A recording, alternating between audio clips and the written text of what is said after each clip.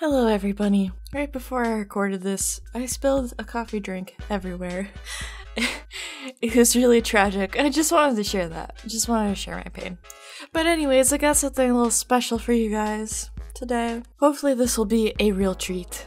Recently, a well known political commentator absolutely wrecked himself for all to see. Once known for destroying arguments against liberals with facts and logic, he has since disgraced himself and his sex life with poorly constructed hot takes aimed at Cardi B's recent song, WAP. I'd like to take you buns down the rabbit hole today to discuss, and also have a good hearty laugh at Ben Shapiro being an absolute goober.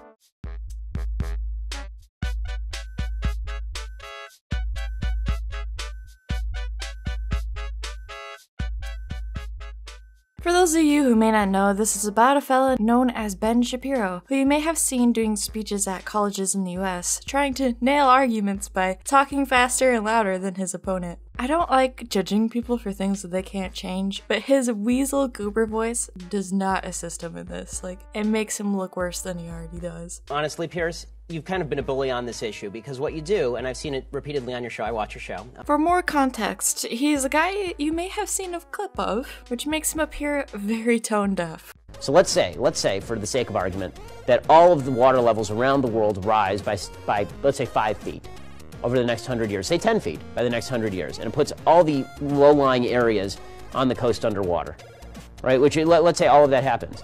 You think that people aren't going to just sell their homes and move?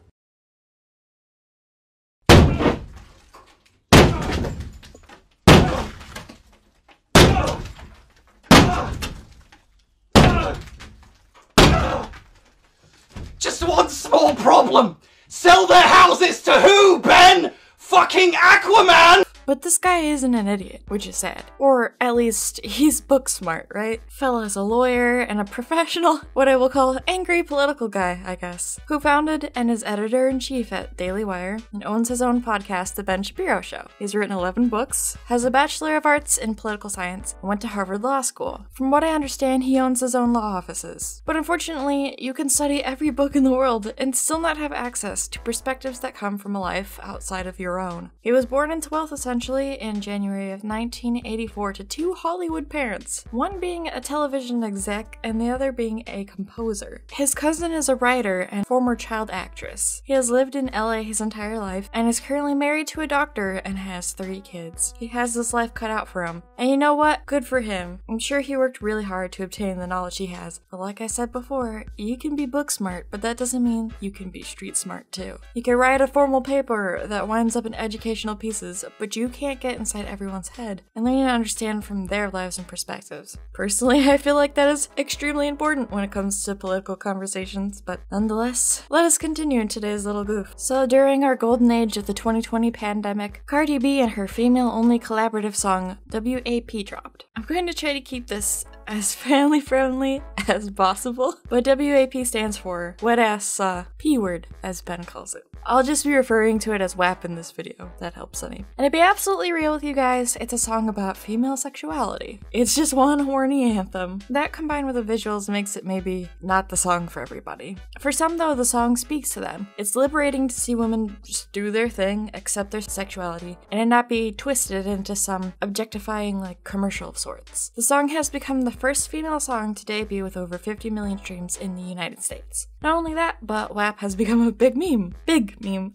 But there's something that would become even bigger than WAP itself. Bring in our boy, resident, conservative, and political commentator, author of a book that essentially says porn is destroying America, Ben Shapiro. For some reason, this fella took to his podcast to critique WAP, and this is where the gold comes in. On his podcast, The Ben Shapiro Show, he says that within 48 hours of release, the video got millions of views, and that it's. This is a deeply important piece of American art that we should all pay attention to. Perhaps a smidgen of sarcasm. He continues.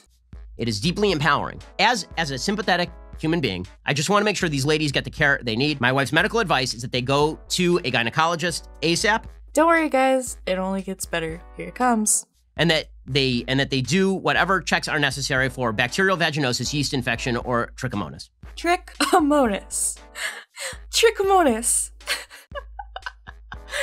I'll revisit this one later, but you guys, trichomonas is not a word. So he reads out the lyrics of the song, which is one of the one of the very big mistakes he makes with this entire podcast. I said certified freak seven days a week. Wet ass P word. Make that pullout game weak. Bring a bucket and a mop for this wet ass P word. So once he gets the lyrics, you'll need a bucket and a mop, he stops and goes on this spiel about how it's not biologically normal. that it's unsexy because it sounds like they're describing a quote unquote serious condition that requires medical attention. He goes on about his wife being a doctor, which is not a good look. Not a good look at all for her. I mean, a bucket and a mop?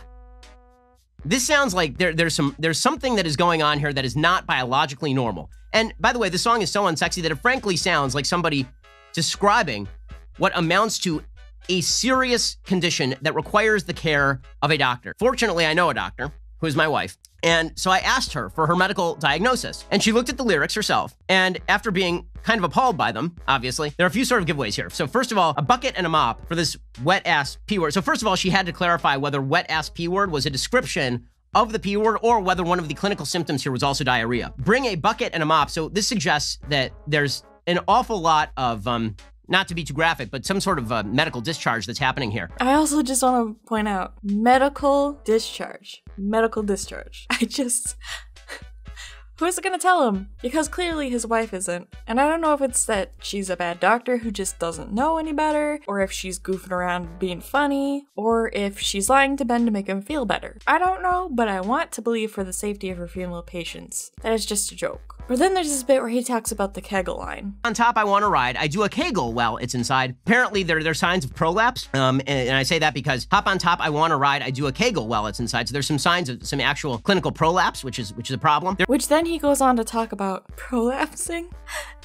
So when you get older, your muscles can weaken, right? Such as your pelvic floor muscles. This can put a woman at risk for pelvic organ prolapse, which is when your pelvic organs droop. They can, I know this is a little scary, but they can fall into or out of your vagina. But I am fairly certain that this has absolutely nothing to do with the song, and he knows that. I'm sure he's just being a smartass, but just in case he didn't, or someone listening doesn't know any better. A Kegel is a type of exercise you do to strengthen the, mu- the muscles of your pelvic floor. That means the muscles that support your bladder, uterus, small intestines, and rectum. So they may help people who may have urine incontinence, pregnancy, or you have issues with farting or pooping on accident.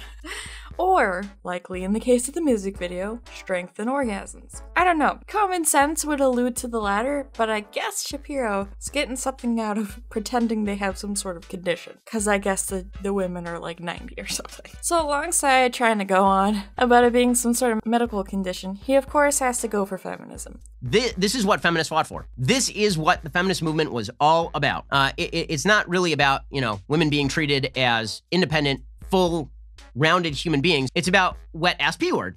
And if you say anything differently, it's because you're a misogynist. I mean, it's a political podcast, isn't it? Gotta splash it in there somehow. He also takes it to Twitter to tweet these masterpieces. Listen, guys, I fully explained on the show that it's misogynistic to question whether graphic descriptions of wet ass P word is empowering for women. WAP is obviously an incredibly profound statement of women's women's empowerment, a la Susan B. Anthony. As I also discussed in the show, my only real concern that the women involved, who apparently require a quote-unquote bucket and a mop, get the medical care they require. My doctor wife's differential diagnosis, bacterial vaginosis, yeast infection, or trichomonas. Oh, baby, no. Just amazing. Purely amazing. So now that we've seen the man himself preach his gospel, let's talk some sense. So at some point in his video, he claims that it's vulgar. Very vulgar. He's fair and entitled to that assessment. Doesn't mean that it's a fact, but he's allowed to think that. He's allowed to dislike the song, which he clearly does, but something is a bit iffy about how he is spending his time on a song like this. It's very clear from his background and taste that this song is not meant for people like him. He's on record saying rap is isn't music, so clearly there's some things he doesn't understand and doesn't really vibe with when it comes to this genre. But let's step aside for a moment. I really want to talk about what I just said when I said that the song wasn't made for him. That doesn't mean he isn't allowed to listen to it or critique it or even enjoy it if he did, but it's important to know intent and context when something is made. For instance, there's like Native American flute music or something like that, right? It has cultural significance to Native American people, and even if it isn't entertaining to the average person, it's still important, it's still art, and it has its place in American music with everything else. You'd be considered a not so great person to claim that Native American music isn't real music, right? Because you're trying to take away or demean something that wasn't made for you.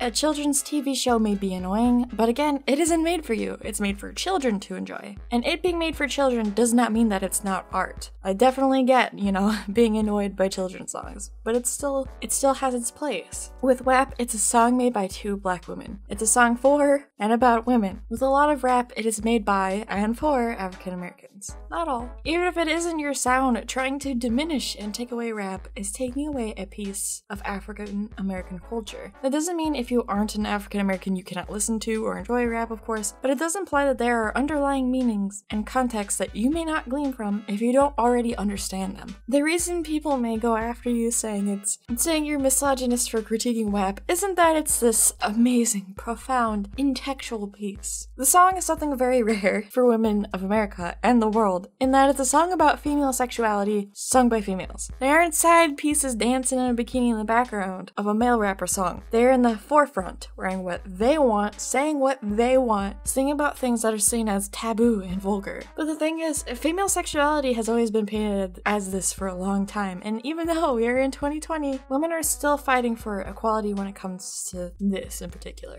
There are countless, countless songs of men singing about their genitals and their sexuality, and it's normal. There's movies displaying male sexuality, and it's normal. But when it's a female, it's vulgar. In many instances, you can use the word penis, which is not a bad word, but somehow the female counterpart, vagina, is sometimes seen as a bad word. Female parts are regarded as nasty and disgusting, when male parts are not. Sometimes, but not always. You know what I'm saying? Do you see the imbalance that they are seeing? A man coming home to his doting wife, who puts up with him and does exactly as he pleases with no question about it, is an old school barbaric practice, which unfortunately hasn't completely fizzled out yet. There are still people actively today who believe that women are beneath men and their duties are to only be sexual when it's expected of them from their husbands. It is seen as dirty or impure when a woman is hypersexual. But you don't really see people referring to men as dirty or whores or sluts for doing what they are biologically designed to do. There's so much unnecessary importance strung into female sexuality, where the less sexual a woman is perceived, the higher moral ground she's perceived to have. Women should be allowed to pursue whatever sexual avenue they want, just as anybody else. Whether it be in a bedroom of marriage or not, it's her choice, just as it's any man's choice. Of course, there's a concern for sexual health and safety, but like,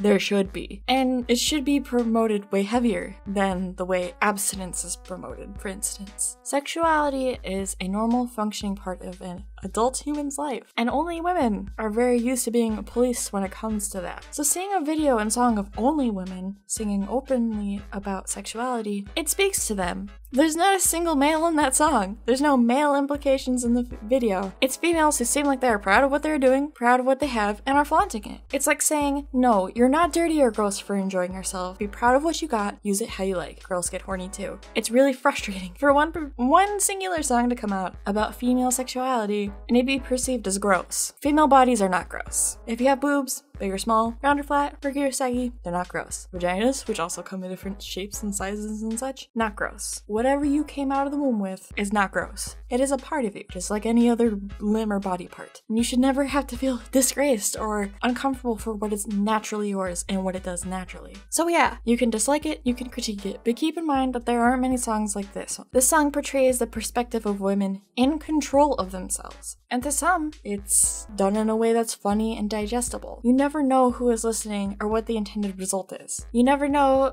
who may stumble upon it, who has been suffering, and then seeing these two confident, thick women in complete love with themselves may help someone who's been struggling with their own similar body. You just don't know. And if someone's calling you a misogynist for you dissing the song, it's not because it just so happens to be a female rappers shaking their butts with just hashtag empowering. It's because it's a very rare video in which two female rappers are doing whatever the F they want, singing about themselves in a way that isn't extremely extremely common, doing whatever they want without it being wrangled by some man. It may not come across as empowering to Shapiro, but again, it's not made for Shapiro. He's not in the driver's seat of the perspective that this song is trying to drive through. Let me also slide in there that for black women, sexuality and confidence can be even more difficult. A lot of black women are portrayed as disgusting and promiscuous and are exposed to sexuality and sexual encounters way earlier than they may be mentally prepared for. They are sometimes forced to quote unquote grow up way too quickly, only to be harshly criticized for it. Their perceptions of sexuality is warped and twisted before they can even get a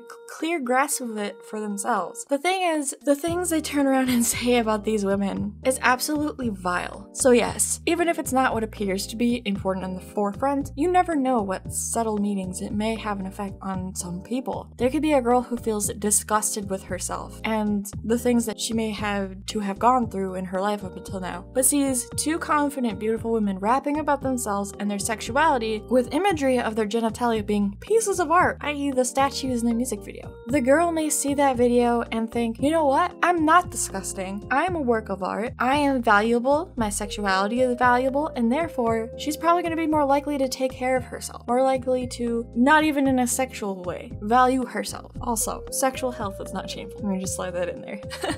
and speaking of sexual health, Ben Shapiro talking about the lyrics as if it's some dangerous medical condition is just an absolute down to earth yikes. And I want to add extra importance to this part, even if I had some funny statements in it. Sexual health for girls and women has been an ongoing battle for forever. There's many women who have never in their adulthood visited a gynecologist or get pap smears because they are embarrassed and scared. They feel their parts are vile, dirty. We have normalized that vaginas are these body parts that need to be need to be shielded from the public eye, that they're dirty and embarrassing. That is that's despicable. For those who do not know, I wanted to become a gynecologist in the past. Obviously, that's an avenue I'm not going down, but I still study female sexual health anyway, in my own free time, as I feel it's important and it's not taken seriously enough. I take female health seriously and want to increase how seriously the public takes it. Unrelated to my gyno dreams, but related to female sexual health, I ended up suffering from a chronic illness that affects females, and it's not commonly recognized by doctors. When scheduling an appointment to look into it with my after talking to my therapist, the therapist told me to be extremely persistent and stick up for myself. So when I bring it up to the doctor, they won't brush it past me. Doctors are known not to take female health experiences as seriously. Not all, of course, but some. When I explained it to my doctor, they had to look up the condition and read about it on the spot because they had never heard about it. And it's not necessarily rare either. Women also sometimes do not have access to gynecologists, but that's an entire argument for a different time. The way America handles the maternity and deliveries is also abysmal, but again, different topic for a different time. The fact of the matter is, females have been getting the short end of the stick when it comes to their sexual health. There's a whole bunch of stuff I could slide in here to further illustrate that, including a bunch of medical documents, but the biggest point I want everyone to glean from this is not all people have access to what should be common knowledge, including all genders, and including Mr. Shapiro himself. So, mini sex ed time. Since unfortunately Mr. Shapiro and his wife apparently haven't had access to that, vaginas naturally lubricate.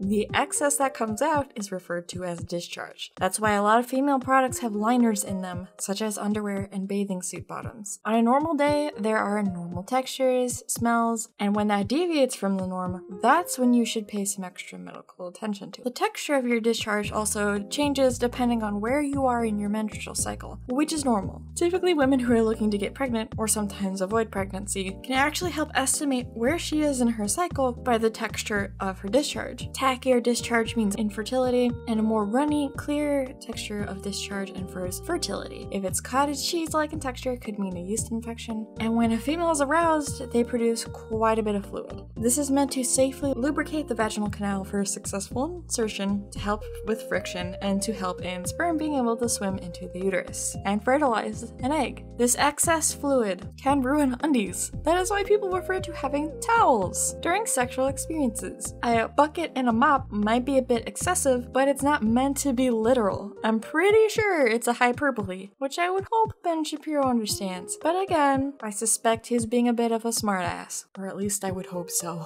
So let's talk about the infections you mentioned. Again, importance for being those who may not know and may glean false information from what he says. You never know what dude may hear or read what Shapiro said and falsely suspect his female partner to be infected with something, and then maybe like shame her or something, you know, give her a hard time when what's going on is natural. You know what I'm saying? So he meant he mentions bacterial vaginosis, which I'll be shortening to BV. BV is very common and happens when one of the naturally occurring bacteria, anaerobes, forgive me if I pronounce that wrong, outnumber the good bacteria, lactobacilli, I think it's pronounced. Forgive me. the symptoms of BV are burning, itching, and a foul, fishy smell, and off-colored discharge, which is usually described as gray. 29 of people with a vagina experience BV in their lifetime, which is over a fourth. So I think that's pretty important to know. It should be taken seriously because untreated, it can lead to premature birth if you're pregnant, or you can more easily pick up infections such as STDs or pelvic inflammatory disease. Has nothing to do with an increase in vaginal fluids. Also, having BV does not make you dirty or gross. Then there is a legendary yeast infection, which is more commonly known, and god, I would hope so, which is estimated that 75% of women may get in their life. Almost half of females have multiple instances of it. That's very common. So like BV, a yeast infection is an overgrowth, but instead of bacteria, it's a fungus called Candida. Again, Candida is a naturally occurring fungus in our bodies, but something about the environment inside the vagina is off and is promoting an overgrowth. These symptoms include itching, burning, burning, soreness, pain, or discomfort during sex or urinating, and an abnormal discharge, which is described as thick or white. Again, has nothing to do with an excess or having a lot of female lubrication. And yet again, doesn't make you dirty or gross if you or someone you know experiences it. Then there's my, my personal favorite, trichomonas as he calls it, which again, is not a real word. I think what he meant is trichomoniasis, which is commonly shortened to trich. It's an STD. It's not a bacteria, virus, or fungus. This one is a parasite. This is one where you could have it for months or even years years without any noticeable symptoms, but it's thankfully easy to solve. What sucks though is how easily it spreads and it affects both females and males. For women, they may experience itching, burning, redness, soreness, discomfort peeing, and a change in discharge. Untreated, it can lead to issues with pregnancy and can lead to a higher risk of STD or other STD infections. The vaginal discharge is usually strong smelling and may be discolored. As opposed to other infections, trich can actually cause a production of more discharge than normal. But I, I highly doubt that it would require a bucket and a mop, as our tender loving Shapiro worries about. And if you have any sort of suspicion that you are going through any of these conditions, definitely do not be afraid to look more into it and assess that. It's not gonna kill you if you don't, but uh, you should value yourself and take care of yourself. What grinds my pickle is that you don't know who's gonna see, read his crap, and start panicking and thinking something is wrong for naturally occurring lubrication. With how much of a mess female health is already, you really don't need to be taking what Ben Shapiro is saying seriously. For those who may not already be established for, discharge and lubrication is not a medical infection that requires immediate action. If you're having abnormal symptoms, however, go ahead and take those seriously. But they're not anything to be afraid of, just as you should take care of anything else you would. You are not dirty, vulgar, or anything of the sort if these things happen to you. For these things, even if you have an infection, just make sure you take care of it and are a happy and healthy being. And honestly, if any of you are struggling with your vaginal health and are too nervous to discuss it with another female or adult, you are welcome to DM me. I may not have a medical solution if there's something medically going awry that needs a doctor's attention, but I could, at the very minimum, give advice or be a shoulder to lean on and babble to if needed. Of course, I will say you should go to a doctor if you need to. I will 400% recommend that. Also, wipe front to back. Let's get to the part many of you may have been waiting for the clownery. I don't normally like clowning on people, but Ben Shapiro is a notoriously freeze dried dingleberry. So here's the thing when women are aroused, they self lubricate. The muscles of the vagina also relax. When the opposite is true, so when a woman is uncomfortable or not ready for intercourse or not enjoying what's going down, the muscles tense and she does not produce the additional lubrication needed for insertion and intercourse. So uh I I really don't know how to say this other than other than just going out and saying it like this. Ben Shapiro outed himself for not knowing how to please a woman, and the internet is absolutely dunking on him. For context, some people are dunking on him for saying the P word instead of the word itself, but I won't I won't personally dunk on him for that because I know how difficult YouTube can be. So if you see that, people saying the P word, that's why. Everything else, though, fair game. Let us peruse these incredible memes. We will begin with someone remixing poor Benny's reading of the lyrics into the song. What you listening to, son? I don't think you like it. Well, why not? I like this new generation of music. Pull out game weak. Yeah, yeah, yeah, yeah, yeah, you effing with some wet ass P word. Bring a bucket and a mop for this wet ass P word. Give me everything you've got. I don't give a hoot about WAP, but these Ben Shapiro tweets are hilarious. Like, he really just confirmed to the world that his dick is atrocious and he asked his doctor wife about getting a woman wet, and she's saying it's a symptom of an STD. I. ben Shapiro when he's going down on his wife. Damn, y'all don't take it easy on the poor fella at all. when you epically destroy your wife in a debate over whether or not she came. Ben Shapiro eating his wife P word like, stop, I'm sweating.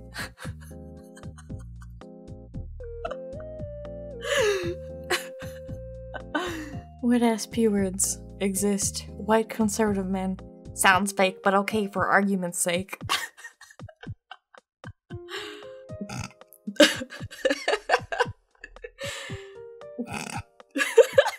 if feminism's so great, why can't my wife achieve orgasm? Five foot five.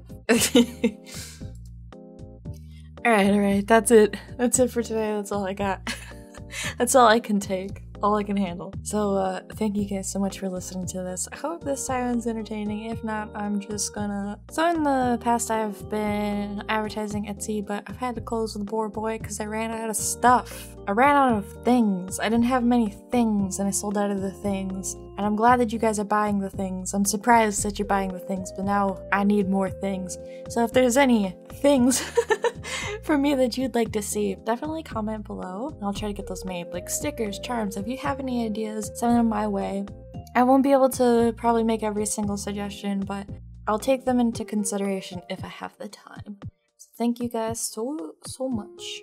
As usual, if you have any questions, comments, concerns about the video or the art featured in the video, drop them bad boys below. You're also more than welcome to drop video suggestions below. I'd really like to know what you guys would like to see from me, whether it be uh, the topic of the video, but also the speed paints. Taps knocking. Here are today's lovely featured artists.